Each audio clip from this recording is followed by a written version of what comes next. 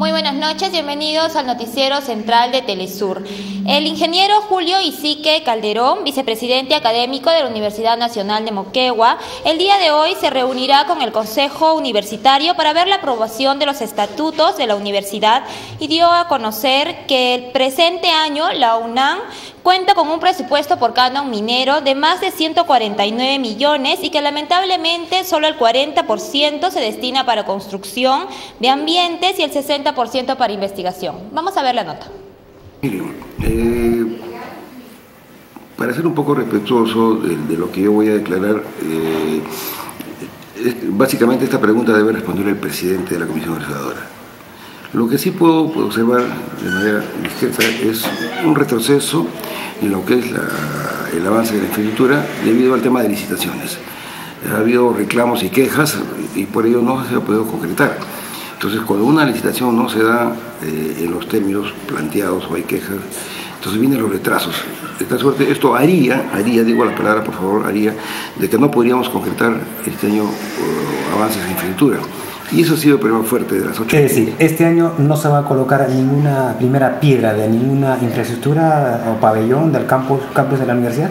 Mire, para concluir un pabellón se está, se, está estimado de siete a nueve meses. Ya nos faltan cinco meses del año. Por eso, viéndolo fríamente, sería bien difícil en estos momentos, dado que todavía no se firma ningún contrato de las licitaciones propuestas, de los 56 millones propuestos para este año. Entonces, estoy siendo objetivo objetivo de lo que está sucediendo. Pero eso no lo tiene la culpa ni el presidente ni el vicepresidente, sino los problemas mismos, cómo se está llevando a cabo la licitación que ha sufrido retrocesos. ¿Cuántos procesos de licitación están retrasados? ¿Cuántos proyectos? En este momento hay, digo, tres que, que, tienen, eh, que han debido iniciarse ya, eh, estamos en el mes de agosto, pisando agosto, entonces no hemos tenido suerte con ello. ¿Qué proyectos son? El proyecto de OBU Bienestar Universitario, el, pabellón de minas acá en Moquegua y el proyecto, el pabellón de ingeniería ambiental en Hilo. Y bueno, lo, que sí se está avanzando, tampoco no podemos ser este, mezquinos. El tema de los cercos perimétricos, tanto en Hilo como en, el complejo deportivo de Chenchen. Eh, son buenos, son cercoperimétricos, pero la gente dice, yo quiero un pabellón completo para mis alumnos. Bueno, la parte deportiva es parte saludable a los estudiantes, pero el tema de pabellón, pabellón mismo no se, va a avanzar este año. Hasta el momento, ¿cuánto de recursos eh, del canon minero recibido por la universidad están acumulados en sus cuentas? Eh, hasta el momento, eh, este año se ha previsto 138 millones para este, acumulados, pero de esos 138 millones de soles, solo el 40% es para infraestructura, el 60%, aproximadamente un poco más de 80 millones de dólares, es para investigación. Entonces hay proyectos importantes eh, de la vicepresidencia de investigación que deben realizarse a futuro. Entonces nosotros también, el pueblo reclama y la universidad reclama el presente. Entonces son 138 millones de soles previstos para este año. ¿Esto es incluido con la última transferencia de 11 millones 700 mil nuevos soles? No, eso es adicional a los 138 millones. Es decir, total tendrían a 149 millones. Sí, casi 150 millones de soles para destinarlos a infraestructura e investigación para la UNAM. Ingeniero, ¿cuáles son las trabas que encuentran hasta el momento para ejecutar obras o es eh, el tema de incapacidad? Las trabas, eh, eh, una de las trabas importantes en lo que es este, licitaciones es de que, bueno, las reglas que fueron planteadas al inicio han sido de repente reclamadas por algunos este, postores haciendo que todo vuelva a cero, había un retroceso, de uno, dos, hasta tres meses de tal suerte que cuando hay una queja todo vuelve a cero. Entonces hay un retroceso, un reinicio, entonces eso ha hecho de que se frenen las licitaciones. El otro tema es el, tema de los pabellones de minas ambiental que también eh, están siendo, han sido reconsiderados. Y el Ministerio Público solicita ocho años de pena preventiva a ex enamorado. En horas de la mañana, en el Poder Judicial de Moquegua, en la sala de audiencias número 5, se continuó con la audiencia sobre la muerte de la joven Carla Giovanna Carcasi Kewe, de 21 años, que murió en forma extraña en su domicilio de la calle Cusco 369, donde fue hallado el cadáver de la joven producto de un disparo a la altura de las 100 por efectivos policiales, de nombre Juan Fernando Belisco Que en ese momento era su actual pareja. Este lamentable hecho sucedió el pasado 4 de enero del 2012. En la sala de audiencias que dirige el juez, el doctor Hernani Neira Ceballos, llegaron los peritos forenses y de balística para dar a conocer las investigaciones de los hechos tras las diligencias efectuadas de este presunto hecho de suicidio y que para el representante del Ministerio Público, el doctor Eloy Pacheco, se habría cometido homicidio simple por parte del efectivo policial y solicita que el efectivo sea juzgado por el delito de homicidio simple y con una pena de ocho años. Según el perito de balística, el señor Walter Cubas Rentería, especialista con más de 20 años de experiencia, Indicaba al juez, al Ministerio Público y a la defensa técnica que era poco creíble que la señorita Carla Carcasi se hubiera autoeliminado. Uno, porque se contaminó la escena del crimen con la participación del efectivo policial que rastrilló la pistola y sacó la caserina y colocó en un sitio no adecuado a la escena y que la trayectoria de la bala no concuerda con la posición del cadáver que estaba encima de su cama y en dirección y colocación del cadáver. Según la reconstrucción de los hechos, hay bastantes contradicciones. Como ustedes han podido apreciar, al igual que otros casos que están sucediendo, pues este, toca una audiencia más del caso de la, muerte de mi querida hija, Ivana, y estamos en una audiencia con la presentación de algunos peritos que han llegado, eh, algunos de acá de Ministerio Público y otros de la ciudad de Lima. La semana pasada fue con unos militares de la, ciudad de Arequipa. Y bueno, como ustedes pueden apreciar, eh, eh, una cosa es que son los papeles que quedan, que quedan demostrados, firmados, y otra cosa es la ampliación de los peritajes, donde ya hay un rol de preguntas y ampliación de algunos temas entonces va dando más luz de lo que, está, lo que ha sucedido en esa época. ¿no? Nos, estamos este, eh, refiriendo el día 4 de enero año 2012, tres años ha pasado después de este lamentable hecho, Juan, y hasta el día de hoy, eh, ¿este efectivo de la Policía Nacional sigue elaborando eh, como policía? Efectivamente, pues sigue elaborando y para nuestra, nuestra sorpresa, porque mm, desgraciadamente ya está, se ha visto pues, que él estaba totalmente involucrado, era su alma la que estaba disparada ha sido su habitación y es más, él mismo, mismo reconoce sus documentos de que, sus declaraciones que él mismo ha tomado la pistola eh, y que sus compañeros de trabajo manifiestan que también él no, no lo ha visto eh, en el suceso laboral, supuestamente el día que él debía estar trabajando. Entonces acá había una serie de, por decirlo así, manipulaciones y eh, malversaciones en algunas versiones a fin de que tapar la, la verdad. Pero como, como que hay un Dios este, y una persistencia por parte nuestra, estamos demostrando pues, este, poco a poco con los peritajes y con las versiones y con las ampliaciones de algunos expertos que no necesariamente son de Moquegua, sino que vienen de otro sitio porque ellos eh, tienen más experiencia en el tema está quedando demostrado pues, de que efectivamente pues, este, esta situación se va aclarando y, va tomando cuerpo. en todo caso, este, el punto de vista que ustedes manejan, Juan, es el tema, descartar el tema de suicidio, ¿no? Totalmente descartado. Creo que ya los que no están presentes y están en, las audiencias, es un tema que quedó totalmente descartado. ¿Cómo se están produciendo hechos? ¿Qué se está introduciendo, juez? Que sea claro la defensa para el defensa dice se adjunta seis anexos con fallos fotográficos. Pero no solo, señor magistrado, que está, está examinando el señor el edito. Son muy distintos, señor magistrado. En todo caso, que hemos sacado, no tenemos en, el, en el anexo, esa documentación, señor magistrado. En el anexo número 5. Señor abogado. Doctor Quirino. En la foto que muestra. Se, se ve, se ve incluso. Magistrado, ¿no? Señor magistrado, el dictamen pericial consta de 13 folios, incluyendo los anexos, y están señalados uno por uno en la parte final de dicho documento. Son 18 hojas. Sí, señor magistrado, efectivamente. No veo esa fotografía, por ejemplo, que está enseñando, no la veo en ninguna parte del anexo del señor por el señor Perito. Pero, anexo sí. Señor juez. Señor magistrado, Lo que se excede del anexo número, en la página, tengo que estoy señalando la página 17 del documento, se aprecia una con tres fotografías. Y lo que está pidiendo netamente es una fotografía que creemos que no es a lo que indica el anexo señalado, salvo que el, perito señale expresamente la- que está mutilada o está recortada netamente este documento o este documento o este anexo señalado en la página 17, si es lo que quiere dar a entender. Señor abogado, el anexo es parte integrante del anexo. ¿Qué objeción va a hacer? Señor magistrado, vuelvo a repetir que el documento que estamos señalando no se ajusta al documento que está entregado como anexos por el perito. Si se refiere a la página 17, específicamente no es conforme está en dicho dictamen pericial, lo cual dejamos constancia.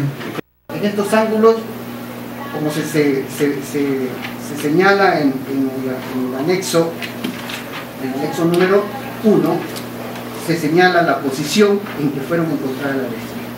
Todo eso nos determina una trayectoria. Una trayectoria como esta.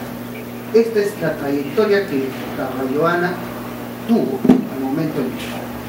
Como se puede apreciar, la línea roja es la línea horizontal la línea de trayectoria es la línea azul, como podemos ver, una línea de arriba hacia abajo, forzada para un suicida,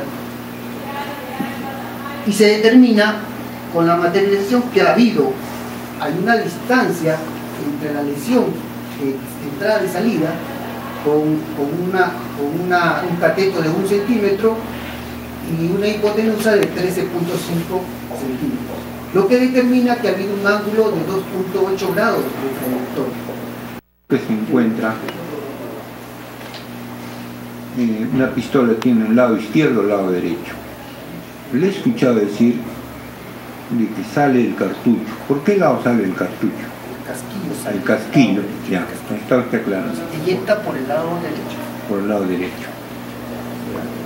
Si eyecta por el lado derecho, ¿en qué parte de la habitación debe terminar ese casquillo? Por la posición en que ha sido encontrada, ¿no? por, la posición que se, que se- por la posición que se encuentra, en la, en- en- que se determina en el anexo, el anexo número por 2. favor, el anexo que corresponde. Vamos al anexo número 2. A lo que usted refiere, la posición del, ca- del casquillo está casi a un, a un metro tres, como dice el, el dictamen, el informe que hace la inspección, a un metro tres del lugar. Sí, sí, sí coordina con la caída, sí coordina con la caída, o sea, sí es, sí es factible que el casquillo haya inyectado el lugar donde se encontraba. O sea, el castillo no podía haber caído para el lado izquierdo. ¿Por qué no podía haber caído? Porque la, la ventana de eyección de la pistola grisa es hacia el lado derecho. Señor Perito, eh, antes de las conclusiones, el punto 3 dice, observando el resultado de los exámenes periciales de las manos derecha e izquierda, dice, se puede apreciar el negativo para canciones de testimonio y varios del señor investigado Javier Beris Cojoma. Señor Perito, ¿cuáles son las cantidades mínimas de partes por millón que tiene que haber respecto de bario y antimonio para considerarse que ha habido residuos de disparo? De bario y antimonio son, según la literatura que usted maneja, son titulares. De repente, de repente no soy el ingeniero, no soy ingeniero forense, no soy ingeniero forense para, para ser determinante en nuestra opinión, pero la experiencia de años de trabajo en balística, basta que haya un cation de bario o antimonio, ya ha habido, ya ha habido contaminación o uso de la el caso del, del investigado, él dice que cogió el arma. La reconstrucción de los hechos, que también él menciona en las grabaciones, en el video que me proporciona, él refiere que coge el arma y por seguridad lo rastría y lo coloca en la silla. En la reconstrucción que hizo conmigo, menciona lo mismo se ratifica en que cogió el arma, lo rastreó y lo dejó en la silla.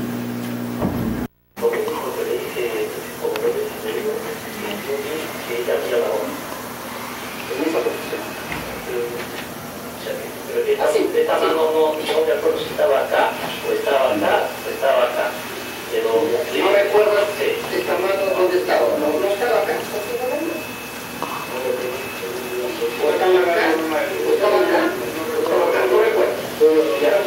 Recuerda que la mano izquierda no, no recuerdo dónde estaba, pero la mano derecha sí cogía la No, no, no la observé. Para coger un arma de esa forma. Habiendo estado en posición cúbito lateral izquierdo, tomando en consideración que el brazo, derecho, el brazo izquierdo está sobre el cuerpo, el cuerpo está sobre el brazo izquierdo. Y en ese momento, señor Perito, a ver la imagen para que me visualice, el cañón del, de la pistola está a la altura del ojo, no estaría a la altura del hueso parietal. Exacto. Es incongruente. Incomodidad, ¿no? Es incongruente y, y de haber sido un suicidio de esa forma, sí. podría, podría haber sido. Y el jefe zonal de Registro Nacional de Identificación y Estado Civil de Moquegua, el licenciado Mont eh, Wilber Montoya, brindó, brindó información acerca de los trámites que se pueden realizar en esta entidad y las facilidades que se les otorgan a las personas con bajos recursos que no puedan adquirir su documento de identificación. Además, también indica el tiempo que dura un proceso de registro hasta poseer el documento de identidad. Vamos a ver la nota. A través de nuestro servicio social que tenemos en, en RENIEC, eh, realizamos trámites eh, de gratuidad bajo dos modalidades. ¿no? Uno, eh, para las personas de 65 años, el trámite es totalmente gratuito en, nuestra oficina, ya sea trámite caducidad o rectificación o duplicado, ¿no? También es gratuito para las personas con discapacidad. Ahora, para colocar a una persona con discapacidad tiene que reunir algunos requisitos, ¿no? Uno primero tiene que estar, tiene que acreditar la discapacidad en un formato especial discapacidad emitida por el MINSA o en todo caso una resolución emitida por el CONADIS, es una institución de discapacitados en la cual acredita la discapacidad qué código tiene discapacidad para nosotros poderlo este, ingresar al sistema y ya figure como discapacidad. Para ellos el trámite es gratuito para, cualquier edad, ¿no? Eh, en cualquier edad.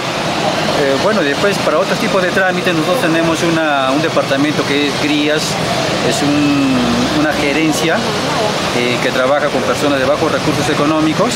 En estos momentos el personal está haciendo trámites en las zonas altoandinas de Sánchez Cerro, eh, previa coordinación con, con, el departamento de GRIAS para que puedan realizar este tipo de trámites gratuitos, no solamente de menores, sino también de mayores. Pero hay que tener en cuenta que son personas con bajos recursos económicos, ¿no? Entonces, eh, previa coordinación con el personal encargado para que los evalúen, los focalicen y puedan este, tener eh, eh, la participación de RENIC en el lugar que, que, que soliciten, ¿no? O sea, puede ser en una, un lugar alto andino, en un distrito alejado, un anexo, el personal de RENIC tiene que constituirse para que la pueda, pueda ser, pueda, la, los ciudadanos puedan ser atendidos en ese lugar. Como le digo, este, el trabajo de GRIAS es este, ir a esos lugares, ¿no? acudir a esa, ese tipo de personas eh, de bajos recursos económicos y poder tener acceso a poder este, obtener un DNI, ya sea por el motivo de duplicado, caducidad o rectificación de datos. ¿no? Entonces sí es posible, tenemos, como ya le he dicho, este, varias alternativas de cómo poder adquirir un DNI totalmente gratuito a partir de los 65 años, los discapacitados y las personas declaradas en extrema pobreza, previa coordinación con el encargado de ese departamento para que pueda ser atendido. Lo pronto estamos haciendo nosotros los trámites normales. Y el prefecto de Moquegua, el licenciado Jaime Ventura Flores, brindó hoy detallada información de las actividades que se van a realizar este 28 de julio al conmemorarse los 194 aniversario patrio. Es así que las coordinaciones que se han realizado con la Policía Nacional del Perú para el, para el resguardo durante estos días festivos, así como el de la Cruz Roja, Defensa Civil y CIA de Bomberos, para que la seguridad de los estudiantes y del personal que vaya al desfile sea el adecuado. Asimismo, este 28 de julio es de gran expectativa el último mensaje presidencial de Ollanta Humala Tazo. Vamos a ver la nota. Eh, prácticamente ya se está moviendo la ciudadanía en torno a estas actividades ya próximas, ¿no? que ya está programado con mucha anticipación, planificada mediante una reunión del Comité Cívico Departamental, los cuales ya se vienen haciendo algunas actividades ya, eh, sin embargo nuestra principal, ¿no? la central de, la, de los desfiles, ¿no? más que todo que la ciudadanía espera. ¿no? Seguramente ya están en todo caso preparándose eh, ya que el desfile escolar es el día domingo 26 a las 8 en punto. En, esto en la avenida Bolívar, donde sí, hace eh, costumbre, donde se va a hacer el izamiento del pabellón nacional, así como la bandera de Muquegua, a las 8 en punto. Y luego inmediatamente inicia el desfile escolar, eh, tomando en cuenta que lo, son más sensibles ¿no? los, los, los estudiantes, los, los chicos, de tal forma que no les afecta la irradiación solar. También recomendando a que eh, tanto los padres familia también eh, a sus niños envíen, ¿no? siempre dotándose de buen alimento, un buen desayuno. Y por otro lado también eh, con su, digamos en este, en este, caso, camisa manga larga o, también un sombrero, ¿no? que siempre se ha recomendado, existe ya una ordenanza, muchas veces están no están obedeciendo ¿no? a esta ordenanza y recomiendo como autoridad para que no tengamos una situación de incidencia que es de desfile escolar va a ser eh, rápido, no debe estar superando más eh, de dos horas. El día lunes 27 es el desfile cívico-militar. Eh, también ya se viene haciendo los ajustes, las coordinaciones. inicia con los saludos a la autoridad política aquí en la gobernación a las 6 de la mañana. Y luego a las 7 es, el es la misa Tedeum y una vez concluido, a las 8 iniciamos con el paseo, eh, con el paseo de la bandera, eh, cuyo recorrido ¿no? ya es eh, de costumbre, ¿no? damos vuelta por la Plaza de Armas y luego lo que es la calle Moquegua con dirección a la Avenida Bolívar, donde se va a izar el pabellón nacional y la bandera Moquegua. Esto una vez, una vez recorrido, ¿no? debemos dar aproximadamente 8 y media, debemos estar en el lugar donde una vez se el pabellón, igualmente iniciamos con el desfile eh, cívico, militar. Para eso existe ya todo un ordenamiento, protocolo, ¿no? las, las secuencias de los desfiles, tanto la parte de seguridad que tiene que ver estrictamente con lo que es eh, en sí la seguridad eh, por parte de la Policía Nacional, el Ejército y el Serenazgo. Lo mismo con lo que tiene que ver la parte de seguridad de salud. Están, en este caso, están apoyando es salud, el Ministerio de Salud, así como también la sanidad de la policía y los bomberos. Entonces también cada quien ya tiene que cumplir eh, con, de acuerdo ¿no? a lo que está establecido. Eh, una vez concluido el desfile cívico-militar, nos estamos trasladando al Auditorio Centro Cultural Santo Domingo, donde se va a desarrollar la sesión solemne. Eso. Vamos a una pausa y regresamos con más información aquí en el Noticiero Central de Telesur. La arquitecta Gina Valdivia, gerente municipal de la comuna provincial, se refiere a los trabajos que viene realizando la empresa Superconcreto, indicando que es un proyecto agresivo y de gran urgencia para los moqueguanos. Vamos a ver la nota. En principio, informarte de que nosotros como municipalidad eh, venimos haciendo seguimiento a la programación que tiene la, la empresa Superconcreto para la intervención en el cercado y de forma conjunta también con la supervisión estamos haciendo cumplir con este cronograma presentado. Y de las reuniones que hemos sostenido con la población, donde se ha escuchado los reclamos y sugerencias de, la misma, de los mismos pobladores, hemos establecido de que en nuestra página web, en nuestra página de municipio, vamos a colgar el cronograma de la obra para que todas las personas conozcan cuándo se va a intervenir su sector. Entonces yo creo que eso es importante eh, la empresa, ah, para poder intervenir en el cercado, ha establecido un, cronograma que lo tiene expuesto en el frontis del muro matriz, donde todas las personas pueden conocer y existe también un coordinador que les puede explicar de qué se trata la intervención y cuánto va a durar. Y no solo ello, sino también eh, estamos haciendo cumplir con todos los planes que necesita a contar eh, el, cierre de una vía. ¿no? Por ejemplo, eh, se nos han presentado todos los planes de contingencia, de evacuación, eh, los planes que de alguna forma orientan adecuadamente el tráfico para no poder colapsar con el sistema de tránsito que tenemos en la ciudad. Paralelamente, esta obra ah, que es ejecutada bajo la modalidad de obra por impuestos tiene un financista. El financista es Sauder Perú y Sauder a su vez ha contratado a la empresa Superconcreto para que ejecute la obra. Eh, nosotros eh, estamos estableciendo con todas las áreas que corresponden a la municipalidad para que fiscalicen el tema del cumplimiento respecto a, por decir, no dejar abandonado ningún tramo en el cual dejen montículo acumulado y que no lo retiren oportunamente. Nosotros estamos fiscalizando para, a través de las normas que regulan estos procedimientos, poder sancionar a la empresa si es que existiera algún incumplimiento respecto al procedimiento constructivo que tiene la misma. Eh, a lo largo de todo este tiempo que vienen trabajando, se han ido mejorando, tanto así haciendo acuerdos para el desvío de las vías, de lo que es transporte y también un plan de contingencia con defensa civil. Se viene mejorando esto y cómo se va llevando a cabo, arquitecta. En principio, hemos tenido, la semana previa a la intervención del cercado, hemos eh, verificado con la empresa Sauder eh, la supervisión y la misma empresa Superconcreto hemos supervisado de que cuenten con la cantidad de materiales necesarios para poder atender todas las obras que estaban ejecutando, porque si no garantizaban tener el stock de materiales necesarios, tampoco podríamos haber autorizado un inicio de obra. Otro detalle eh, es que se han tramitado todas las autorizaciones necesarias y eh, se ha coordinado una verdadera señalización y que se establezca claramente un cronograma de inicio y fin de obra donde toda la población que está involucrada en el sector de intervención conozca hasta cuándo va a permanecer la empresa.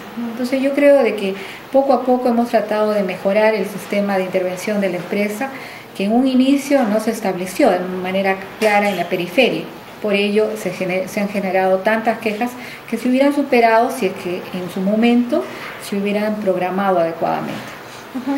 Eh, ya estando a ya se han iniciado trabajos, sabemos, en el centro de la ciudad, sin embargo no se han terminado los trabajos en la periferia. ¿Y qué acciones se están tomando?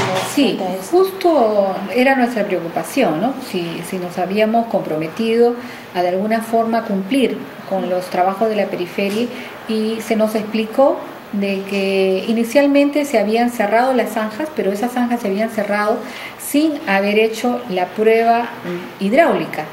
Entonces, para nosotros poder concluir la intervención en un sector, se tiene que dar con la prueba hidráulica para poder garantizar de que esa tubería sí está ah, diseñada para la presión del agua que genera en los momentos máximos.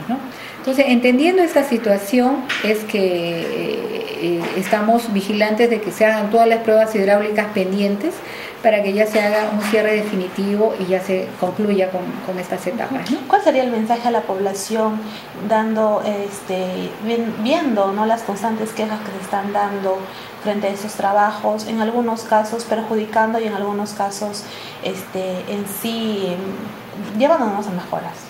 Bien, en principio yo le invocaría a la población, sobre todo a la población del cercado, eh, que si bien es cierto, la obra genera un malestar por el proceso constructivo, que no es un proceso constructivo muy eh, silencioso, sino más bien un proceso constructivo agresivo, que eh, no solamente perjudica la transitabilidad, genera ruido, genera polvo, genera bastante molestia en el usuario, pero también seamos conscientes de que toda la tubería del agua potable en el cercado son tuberías de asbesto cemento. Estas tuberías ya están ah, sacadas del mercado porque son tuberías declaradas no aptas para el, consumo de, agua eh, por la Organización Mundial de la Salud. ¿Por qué? Porque producen cáncer. Entonces, Todas las tuberías de albesto están siendo reemplazadas por una tubería de PVC que nos va a garantizar realmente tener un agua potable que no esté contaminada. Y segundo, que las tuberías de desagüe que tenemos en el cercado son tuberías de concreto que tienen una vida útil de 30 años, las cuales hace mucho tiempo ya dejaron de, de, de, contar con esta vida útil, por lo tanto existe filtración que contamina las otras tuberías de asbesto.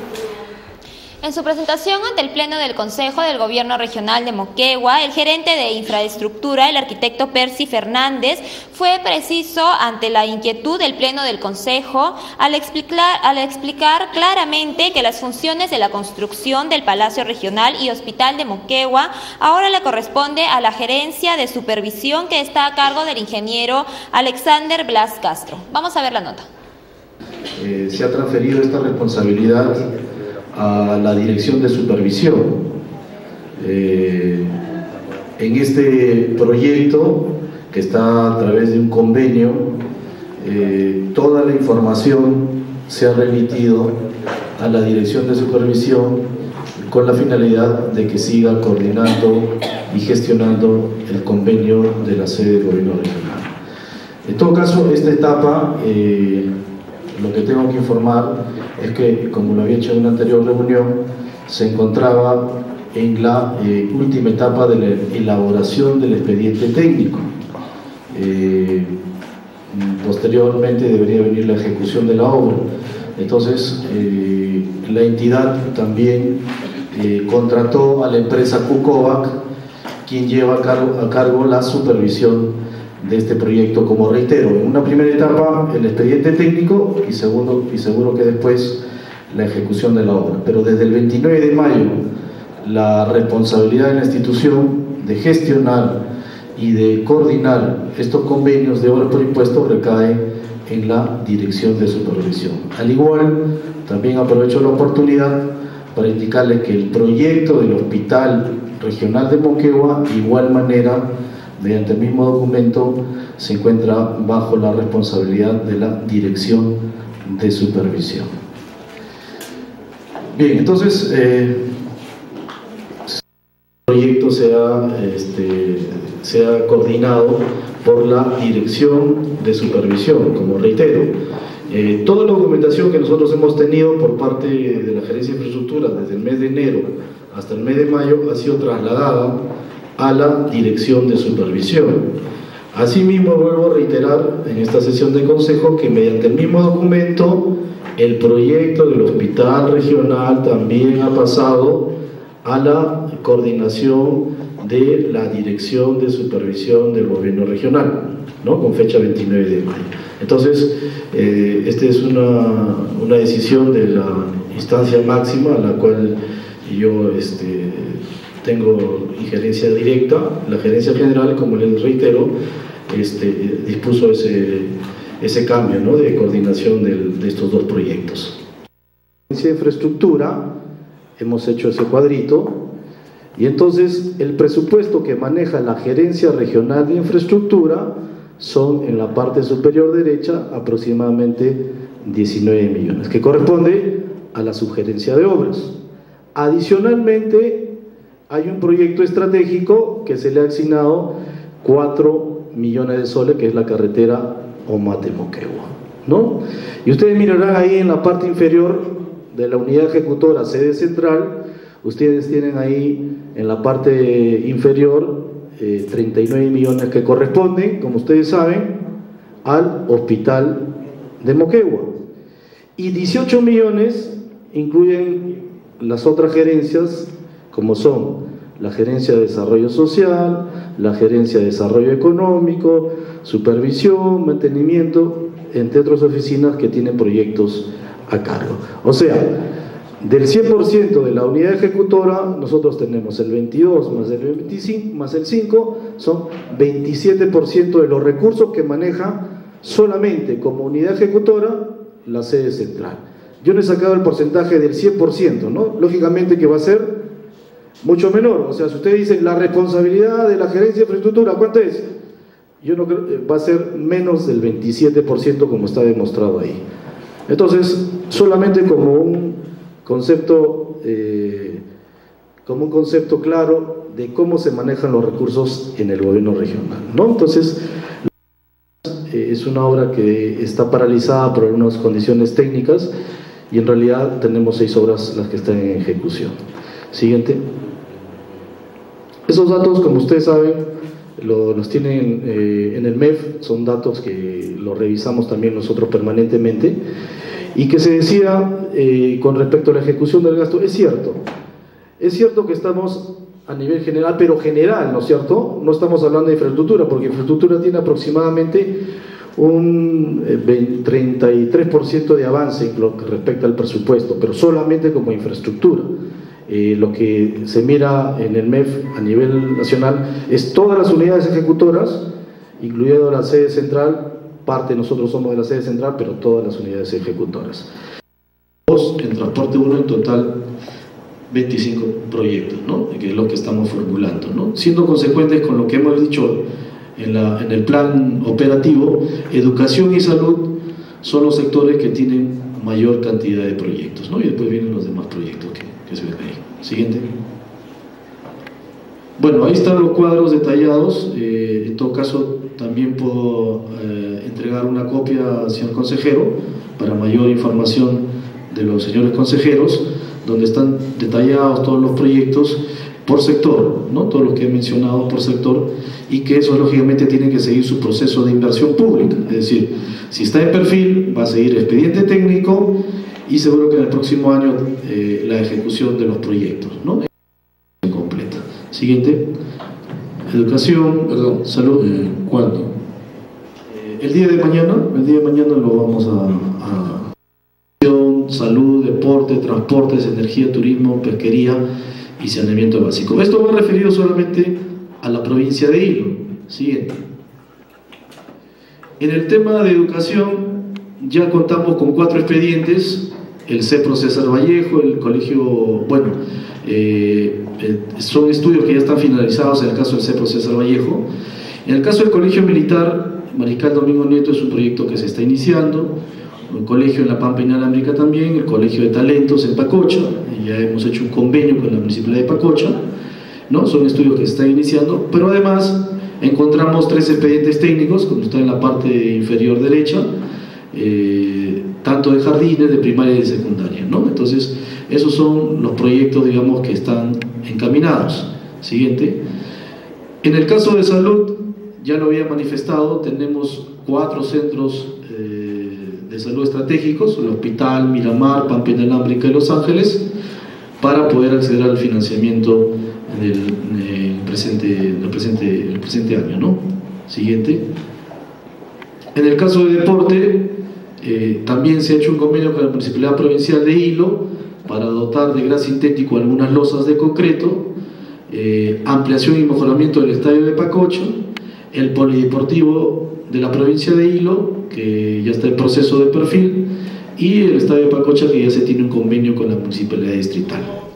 Y hoy el representante de la Cámara de Comercio de Moquegua, el señor Galo Vargas, en su ferra y sorpresiva posición contra Anglo American Queyabeco, salió a manifestar que en la reunión de algunos personajes políticos, como la señora María Cristala Constantinides y el ingeniero Martín Vizcarra Cornejo y miembros de construcción civil, ahora desconocerán a la sede de Anglo American como si estos señores fueran o tuvieran algún tipo de autoridad.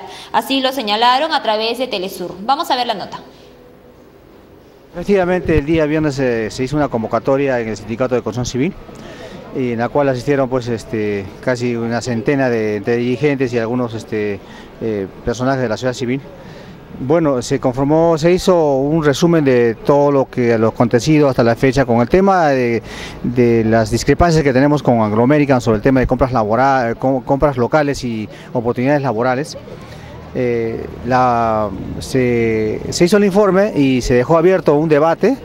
Eh, yo pasé allá, ¿no? Hubo un conductor de debates y en las conclusiones se quedó de que se tiene que hacer una revisión de los acuerdos de la mesa de diálogo en los tres aspectos, en el tema de recursos hídricos, el tema de medio ambiente y el tema de responsabilidad social. En, en esos aspectos ya entra el tema laboral, el tema de compras locales y sobre todo una, una reestructuración de los eh, espacios de diálogo como son la Comisión de Monitoreo, Monitoreo y Seguimiento de los Acuerdos de la Mesa de Diálogo y eh, lo que es el Fondo de Desarrollo Moquegua. En eso hemos quedado, eh, se va a, dialogar ya no con funcionarios de Anglo American porque ya se cortó el diálogo con los, con los funcionarios de acá de Moquegua, se va a conversar con funcionarios de alto nivel en Lima de Anglo, eh, también este, se, va, se va a acusar oficios a... ¿Prácticamente se han roto ya las eh, relaciones con Anglo American Moquegua? Acá prácticamente sí, porque no hemos llegado a ni un acuerdo. Anglo American eh, no, no, no, quiere ceder ni un, ni un punto ni una coma de esos acuerdos y, se va a pedir la presencia del presidente del Consejo de Ministros, Energía y Minas y de Medio Ambiente. Se va a acusar también eh, oficios a nuestro gobernador regional, a nuestros alcaldes provinciales, que son los que también ellos han avalado esta mesa para que podamos en forma concertada solucionar este problema. ¿no? ¿Quiénes son los que nos representan de la, por parte de la sociedad civil? Bueno, los que están, están por ejemplo, eh, son organizaciones, está eh, el Sindicato de Construcción Civil, está la Junta de Usuarios, está la Cámara de Comercio, está la Junta de Proveedores de Hilo, están eh, representantes del, del mercado, del Sindicato de Mercado Central, ¿no? Está la señora Cristala, representando a la sociedad civil, y el ingeniero Martín Vizcarra, que ha sido... ¿La Constantinidad a qué gremio o a qué...? un gremio le está a la sociedad civil, está representando, y el ingeniero Martín Vizcarra, que, bueno, él ha sido el expresidente... ¿La sociedad civil a qué base representa, claro, no representa, pero este, los dirigentes la han elegido ahí, ¿no? En ese momento, ¿no? La han elegido, eh, los dirigentes han, son los que han elegido a, ese comité, no, no, no veo una... una... ¿Martín Vizcarra qué representa? No, él, él ha sido invitado y él como ha sido como eh, expresidente y, y, parte importante de la mesa de diálogo, también él, ha sido invitado para que participe en esta comisión y, la, y, la, y los mismos este, dirigentes lo, lo, han manifestado. ¿no?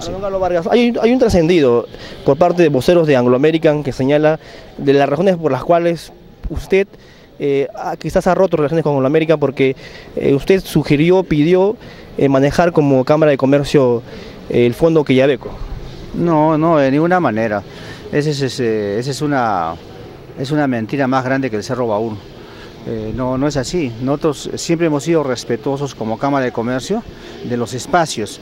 Hemos sido respetuosos y hemos querido, siempre hemos, hemos, hemos trabajado para buscar, eh, trabajar en esos, en esos espacios en base al consenso, en base a, la transparencia de la democracia, donde no haya minorías ni mayorías, porque justamente ahí se, eh, la idea es construir, no destruir pero lo que pasa es... ciertos intereses quizás de la Cámara de Comercio, a sugerencia suya quizás de querer manejar el fondo que Yabeco? No, de ninguna manera. Lo que pasa es que lo que queremos que ellos no lo manejen el fondo que Yabeco a su manera, de una manera inteligente, porque eso lo manejan. De una manera inteligente se... Ya no quiero decir emplear el término coluden porque no les gusta que le digan ese término, pero concertan con el gobierno regional para tomar decisiones, sabiendo que hay muchas debilidades en el parte de la presencia de los alcaldes provinciales en el fondo entonces ellos pues hacen, hacen un poco de, hacen este, a un tema de, se solidarizan entre ellos y, votan y al final el voto mío queda, queda como minoría y la elaboración del expediente técnico de redes de agua para el centro poblado de Los Ángeles empezaría próximamente. Así lo dio a conocer el alcalde del centro poblado Los Ángeles, quien señaló que se está a la espera de la pronta elaboración del expediente técnico para la construcción de la obra de cambio de redes de agua potable para el centro para este centro poblado. Vamos a ver la nota. Ahorita el proyecto de agua y desagüe, si bien es cierto, si hacemos un poco de memoria, el año pasado se había caído el proceso de licitación de agua y desagüe de Los Ángeles y bueno, este año se ha, se ha, buscado de que el doctor Hugo Quispe acelere ese, ese proceso, ¿no? O sea, ¿qué, es, qué medidas iba a tomar? Entonces, el día de ahora ya se ha mandado una licitación, se ha lanzado una licitación pública del proyecto de agua y desagüe, de los cuales eh, sabemos todos de que está ya colgado en el sistema, ¿no? Es un, se ha lanzado por un monto de 800 mil soles la elaboración del expediente técnico de agua potable para Los Ángeles, de los cuales em, esperemos eh, que, según el cronograma, ahora en agosto se estaría este, dando la buena pro y me imagino que en septiembre estaría firmándose el, contrato con una, la empresa que gane la elaboración del expediente técnico para buscar su financiamiento eh, del mismo. ¿Este con fondos eh, invertidos por el Ministerio de Vivienda? No, la licitación para la elaboración del expediente técnico se está haciendo con con, fondos de la municipalidad provincial. 800 mil soles está costando la elaboración del Ahora, ¿qué pasa? Lo que nosotros estamos buscando y queremos y vamos a pedir también al alcalde provincial es de que, de que con la firma del contrato con la empresa que va a elaborar el expediente técnico y con la factibilidad del, del, proyecto, vayamos a Lima, ¿no? Y de una vez ya se programe recursos para este proyecto de agua y desagüe para el año 2016, porque sabemos que la elaboración del expediente técnico no va a durar menos de unos cuatro meses, ¿no? Entonces, este, lo que si en septiembre estaría firmándose el contrato, octubre, noviembre, diciembre, en enero o febrero estaría entregándose el expediente técnico y ya podría estar expedito para poder iniciar. Es por eso que nosotros queremos eso, ¿no? Que con la eh, con la firma del contrato de la elaboración del expediente técnico más la factibilidad el expediente de factibilidad, ya nos den, nos, nos asignen recursos para el Los próximo trabajos recién se van a ir a presentar al Ministerio de Vivienda para que les dé el recurso económico. Claro, con eso ya estaríamos dando a conocer al Ministerio de Vivienda de que esto ya va a ser una realidad, o sea, ya se está lanzando el expediente técnico, ya hay un contrato firmado y lo que queremos es no que se, ya se pueda programar recursos para el próximo año. ¿El alcalde qué dice frente a los 5 millones que se gastaron con el pretexto de la elaboración del expediente en la gestión anterior? Porque se gastaron recursos económicos que ya estaban presupuestados, señor alcalde. Sí, bueno, eso es, eso es una situación de la ley de presupuesto, de que ellos tienen la, decisión de utilizar los recursos, si quieren lo, lo guardaban o si querían lo gastaban. Entonces en este caso es por ello que se ha anulado también el proceso de licitación anterior, ¿no? porque ese proceso tenía un promedio de 17 millones de soles guardados. Entonces lo han anulado el proceso, al anularse el proceso la plata queda en el aire entonces te la gastas ¿no? en, en lo que... Temas distintos. Señor alcalde, finalmente, eh, mañana hay actividades por fiestas patrias. ¿En Los Ángeles también se harán esas actividades? Por supuesto, el día de mañana nosotros tenemos un desfile con todas las instituciones del sector, ya nos hemos puesto de acuerdo los colegios, el AUGEL, están participando SENASA, diferentes instituciones que quedan en el sector de Los Ángeles. Vamos a hacer un desfile y también participaremos el día lunes 27 el desfile, desfile militar que se va a hacer acá en la Avenida Bolívar y del cual también quiero hacer la invitación abierta que la Municipalidad de Los Ángeles va a hacer una actividad ese día para recaudar algunos fondos, tenemos algunos pendientes de pago de nuestro aniversario anterior que hemos tenido. Y vamos a hacer una truchada, estamos proyectándonos hacer un promedio de Y el día de hoy se pudo apreciar en la Plaza de Armas de nuestra ciudad las pictografías alusivas a la lucha contra las drogas, trabajos que elaboraron los alumnos de las diferentes instituciones educativas de la ciudad de Moquegua. Vamos a ver la nota.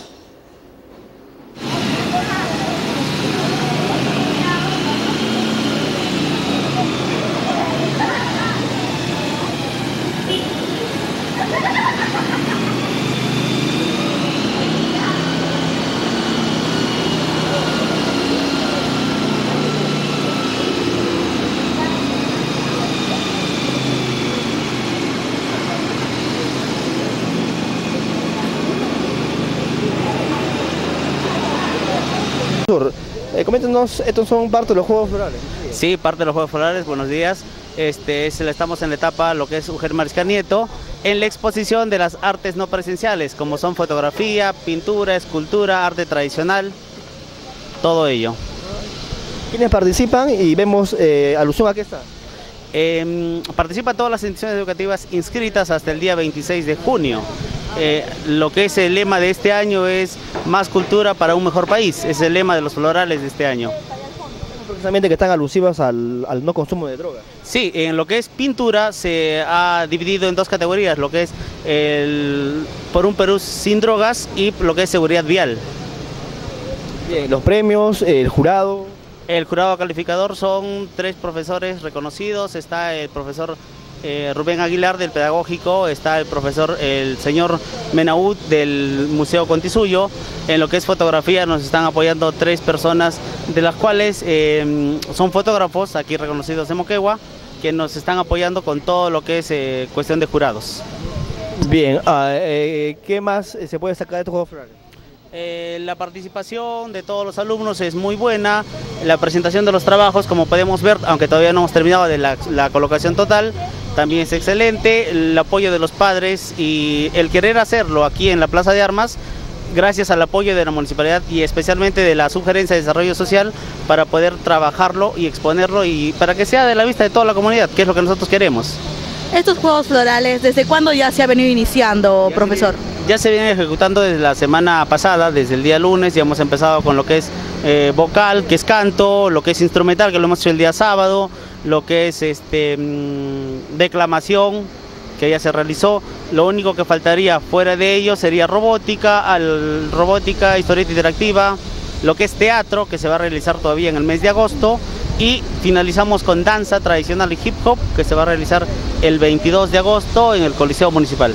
¿Cuántas instituciones educativas están participando en estos Juegos Florales? En total, yo sacando un cálculo, es un promedio de en, alumnos, más que todo, son 1.007 alumnos que se han inscrito para este año en la etapa Eugel Mariscal Nieto. ¿Cuáles son en todo caso las eh, aplicaciones y también forma de estimulaciones a estas personas que están participando?